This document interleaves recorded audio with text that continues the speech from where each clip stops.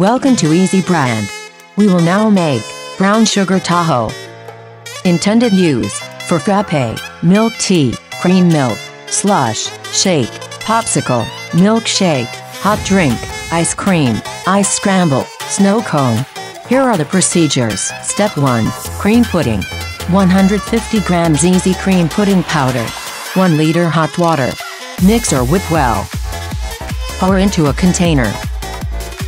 Rest until cream pudding hardens. Step 2. Taho.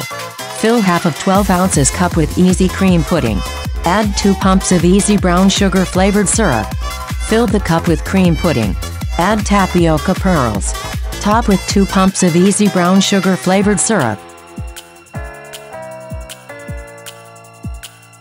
Applicable to other easy brand flavored syrup.